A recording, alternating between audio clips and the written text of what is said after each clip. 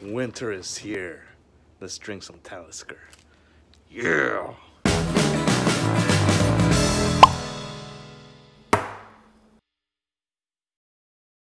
Hey, welcome back, Whiskey Questers, to another episode of Whiskey Quests. If you guys are new to the channel, my name is Antonio, and in this channel, I get to try whiskeys from all over the world. I like to add a drop of water to each one of them just to see if it changes.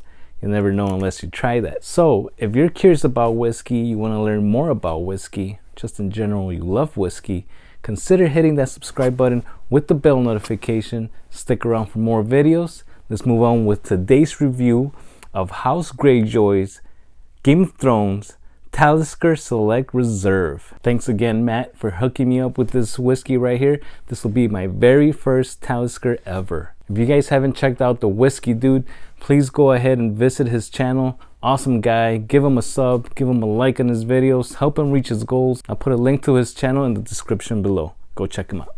So again, this is a single malt scotch whiskey and it'll cost you around 45 to 50 dollars maybe somewhere in the 60 dollar range depending where you go but it is bottled at 45.8 percent abv that's right this coming from the isle of skye is also a peated scotch so we all know what to do with peated scotches right?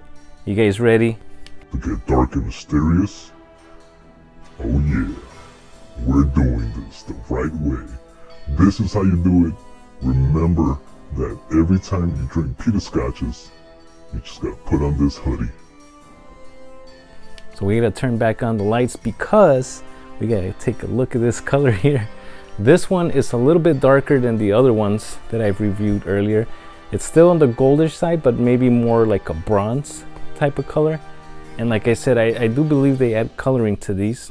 And but that doesn't really matter because we're here to drink whiskey, not stare at it. So, on the nose, ah, good old peat. Now, this is another, in my opinion, lightly peated. It's not, it's not like an Ardbeg, even a Laphroaig, but it is there, but it's more noticeable than the uh, Bunnahabhain 12. I get a nice hint of marshmallows, mixed in with like pears nice briny nose coming through you can really smell that sea salt in here yeah the more I smell it the more brine comes out that's awesome getting a little tiny hints of vanilla also but that brine is really present in this scotch right here all right let's move on to the palate cheers everybody oh so good all right I get a nice oily mouthfeel. Peppery, really peppery on this one. I love that. You get that peat smoke flavor mixed in with some brine. Yeah, awesome smokiness coming out. That ABV helps it a lot. Wow. Now, here's the thing. Toby from Whiskey Share told me that he tried this and he thought it was really soft compared to other Taliskers. So if this is impressing me right now, I can only imagine what the other ones are gonna be like when I get to try them. I can't wait. That black pepper really comes through. It's nice and spicy all the way around.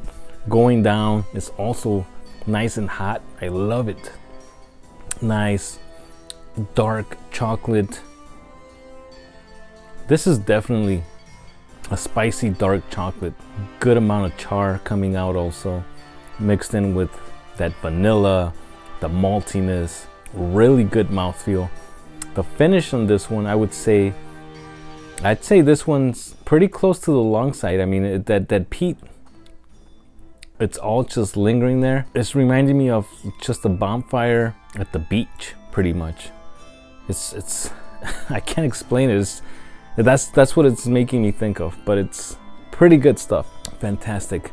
All right, let's add a drop of water and see what happens to this one. I'm very excited. I'm hoping it brings out a little bit more flavor. Let's see what happens. See you guys in a bit. All right, we're back. Let's take a look at the nose with a little bit of water added to it. Oh yeah. All right, so the peat is still present, but it knocked it down a couple notches there. And I'm getting more like a red apple, pear. I get some toffee coming out this time. More maltiness also developing.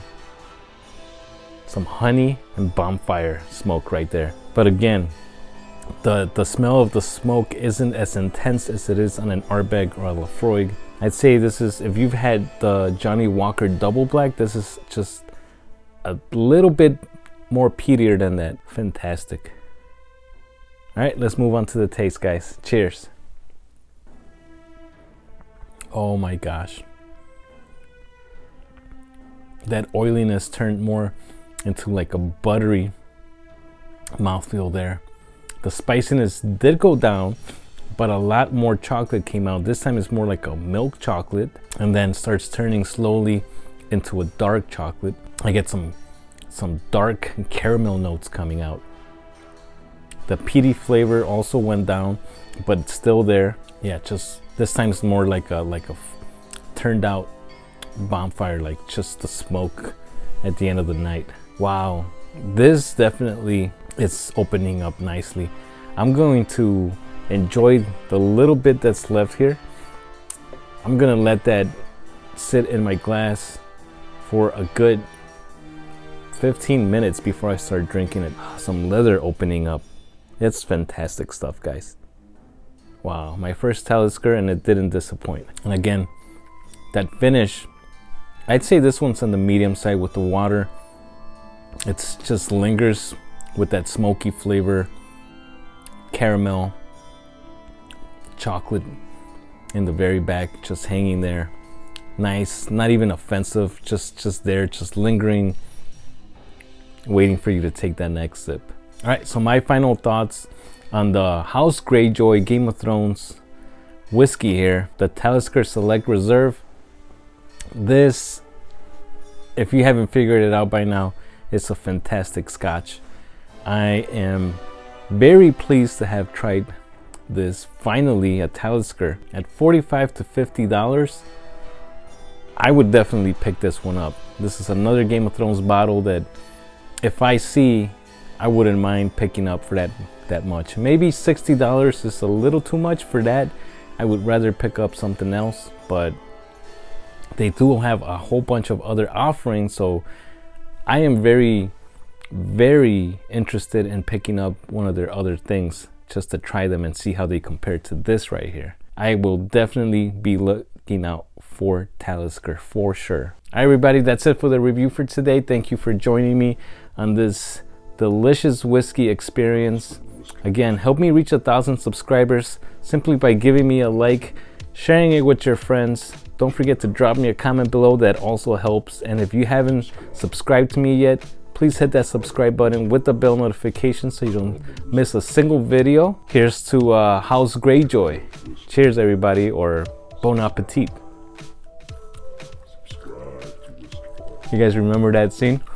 Put in the comments below if you remember. That's pretty good. Actually pairs nicely with this Talisker. Bye, everybody.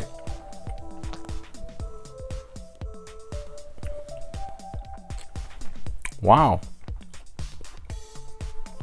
Definitely try it with a hot dog. Not bad.